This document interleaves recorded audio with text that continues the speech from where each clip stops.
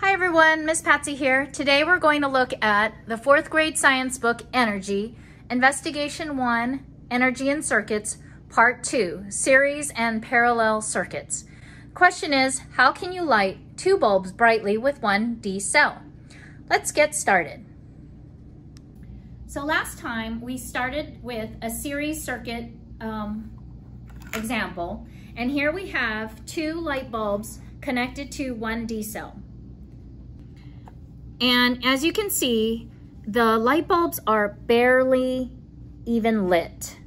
You can't even detect um, anything unless you look super closely and you can see a little bit of orange on the top of the light bulb.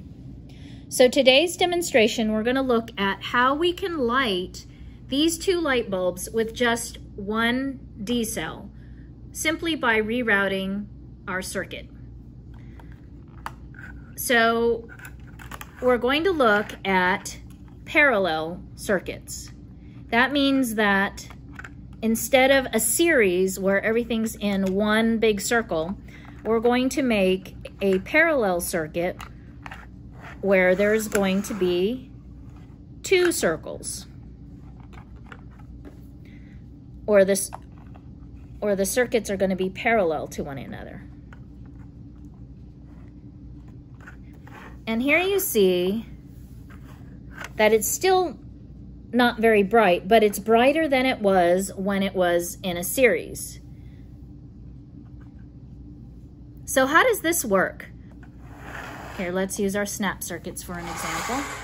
When a current goes in a series, there's just only a limited amount of electricity to go through both bulbs. In this example, one bulb is lit light, uh, brightly and the other one is barely lit at all.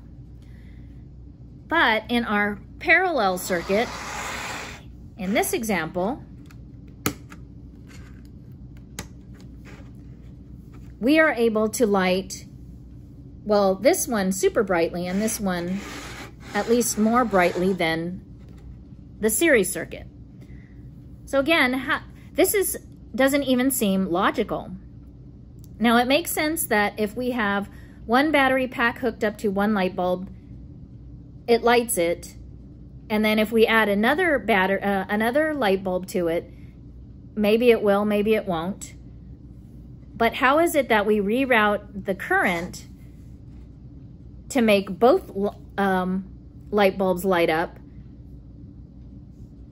better than when they're in a circle. So one way to explain this, so it's kind of like a toll booth. If you have cars driving into toll booths, if one, if all the cars lined up in one toll booth, at one toll booth, then the number of cars going through the toll booth is limited. Whereas if you open up more toll booths, more cars can go through quicker which is kind of like the current.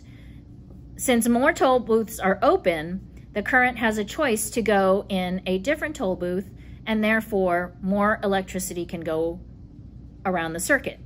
And that's why two light bulbs can be lit whereas in a single uh, or a series circuit, only one light bulb gets lit. Hope that explains it, and we'll see you next time.